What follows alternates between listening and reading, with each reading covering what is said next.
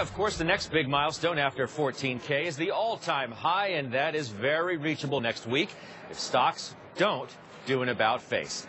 Let's get right to it with today's closing bell exchange. Tom Porcelli from RBC Capital Markets, Larry Glazer from Mayflower Advisors, Peter Schiff from Euro Pacific Capital, very own Rick Santelli as well. Tom, are you a believer?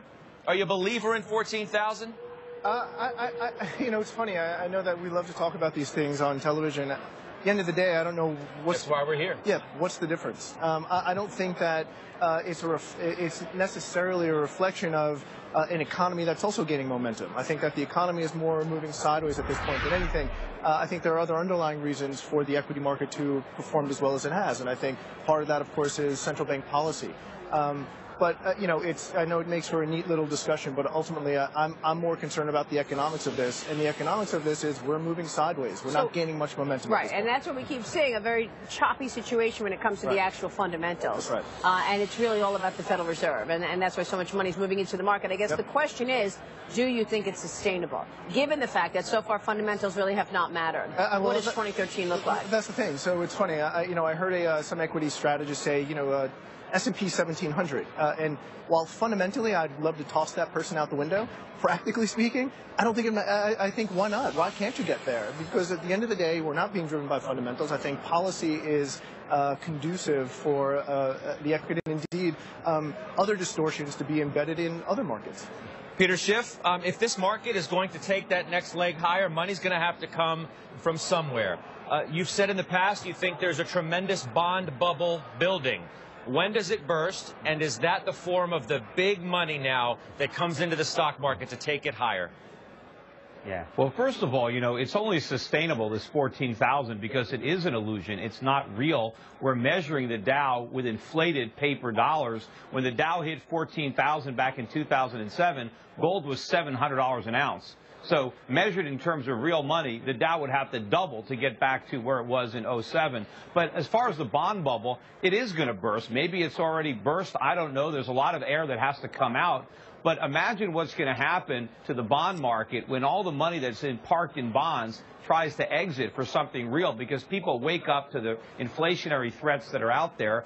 Uh, you, don't, you don't have the, the Eurozone crisis anymore. The euro is making new 52-week highs against the dollar, as are many other currencies. So there's a lot of money left to come out. And what if the Fed, I think, I think it's all bluff, but what if the Fed tried to shrink its balance sheet and it tried to sell bonds? The public tries to sell bonds. The government's trying to sell over a trillion in treasuries every year on its own. So eventually, when the bottom drops out of the bond market, it's a huge problem. I think in the short run, the Fed's going to print a lot of money to prevent that from happening. And so stocks can keep trending higher, just like the price of everything else. But stocks are going to not go up as fast as the price of gasoline, as the price of food, as the price of a lot of other things that rise when you debase your currency. So what do you think? You think it continues? You think 2013 means more money into, into stocks, given the fact that it's the Fed really driving everything?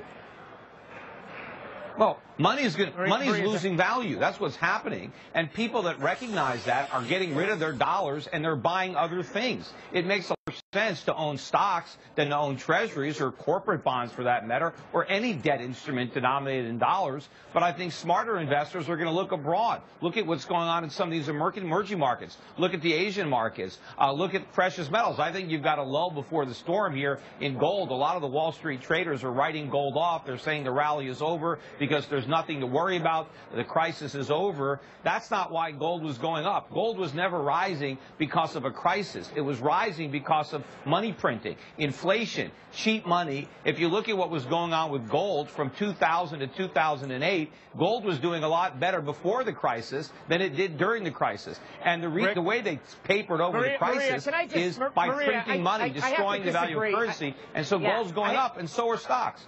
I, Maria, I have to disagree with the Armageddon forecast here. I mean, first of all, I think milestones absolutely do matter. And if you look, big round numbers play really well on Main Street. When you go to a bakery or a barbershop, this weekend or in between the Super Bowl game, people are going to say, gee, did you see the market? And that gets individual investors re-engaged in the market. And I think that's entirely rational behavior. Look, let's call it for what it is. It's a momentum-driven market. It's driven by fund flows and not necessarily fundamentals. But that doesn't preclude Armageddon necessarily. You've got this worldwide currency issue. There's a lot of scary stuff yeah, in the well, world. I, I bet more people are going to be talking about rising gas prices than rising stock yeah. prices. Uh, uh, look, they've been talking about rising gas prices, and there's no question that the dollars are concerned. You know what they're more worried about? They're more worried about higher chicken wing prices for the Super Bowl. That's what they're worried yes. about. But now that that conversation is going to shift back to the stock market because people want to make money. In 13 years, the market's done nothing. The bubble's gone. We've, well, we've they're not making money in stocks, bubble. but they're going to lose a lot less in stocks than they will in cash or treasuries. That's for sure. When Look, you have inflation, if you, you re-engage the retail but investor don't mistake here, this for economic growth. The U.S. economy is in a lot of trouble, and the rising stock market doesn't reflect improving fundamentals. It reflects inflation and a debased currency. Yeah. I don't. I look. I look. Never bet on the end of the world because it only happens once, right? You hear that repeatedly. Why do you keep and saying I think the end that of the world? Armageddon argument Rick, is very limited. Rick, Rick, Who's Rick talking Santelli, the end of the Rick, world? Rick, Rick Santelli, can you can you get in here? I mean, Peter Schiffen, you well, seem I think to have everybody's opinions, a little right? bit right, Judge. Everybody's a little bit right. All the major central banks of the old developed economies, even some of the just recently developed economies, well, they have central banks that have pretty much put a boundary around rational investors. As much as many of them like gold, they want some diversification. Where are you going to go? The treasuries are safe if you're really rich, if you're looking to accumulate wealth, and Peter's right, but it's still a mug's game no matter how you slice it. I agree with the guest that said the economy's sideways on fundamentals, but all roads lead to stocks. So whether you can right. come up with a quantitative argument or not, I would be crazy to challenge the direction of stocks. As far as interest right. rates, they're not fully buying into this. They're going to creep up a bit, but the bubble, and everybody's right about, probably isn't going to burst for years, and the Fed isn't going to voluntarily stop, in my opinion. So I don't think you have to worry about that with your stock trade in the right. here and now. No, I totally agree. And look, Tom, I'm the first person to say this this rally is 100% due to the Federal Reserve and the free money and the fact that there are very few alternatives.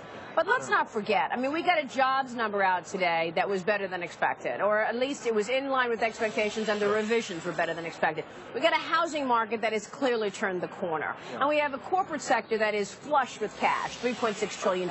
So while, yes, I agree the economy is not showing any great shakes, we are seeing pockets of this story actually show real vibrancy. So this is a long conversation. I'll try to keep it really short.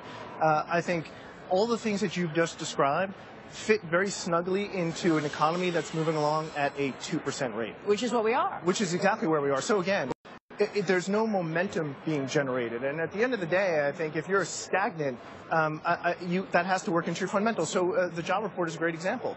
Um, the, with the background revisions. You've got to buy the government's inflation numbers, though, if you think the economy is actually expanding. And by the way, 85 billion yeah, a mean, month I, I, in QE isn't going to be enough to stop the bond bubble from no, bursting. but Maria if makes a good point. There, there is that, a little bit of momentum. Have to step though. it up. You they might have to raise 125, There is real momentum, right? And that's there a lot of real, money getting Peter, Peter, listen one second. There, Maria is right. I mean, there is real yeah. momentum, uh, whether it, whether it is with housing, whether it is with manufacturing, whether it is with construction, whether it is it with consumer spending, business investment. All of these little pockets have to mean something. No, but but again, define right. for me momentum. They do. Uh, as a great example, Zero housing. GDP in the housing, quarter. Housing was a, a detractor from growth up until this year. This was the first year that housing contributed to growth contributed about two tenths of a percentage points to growth. Housing again this year will be a contributor to growth. It'll contribute probably about three or four tenths of a percentage points. So is going from two tenths to four tenths uh, momentum? A- absolutely. But what's the degree yeah, of momentum, that we're dealing with? It's what, what is driving it? Where's it coming from? Momentum. It's coming from a and pretty to me, press. that's the compelling it's cheap part money. Story. What do you expect? Yeah, yeah.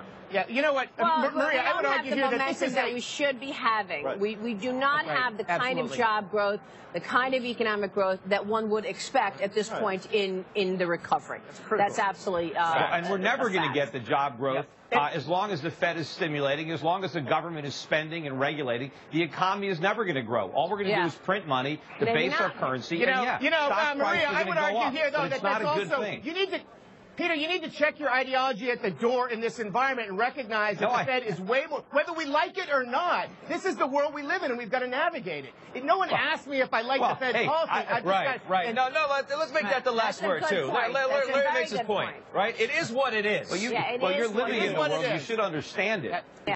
You might like it, but you, Uh, hey, you got to understand I don't disagree it. with that. Gentlemen, thank you very much. Great conversation. We appreciate it. Well, how's that for a wake you up?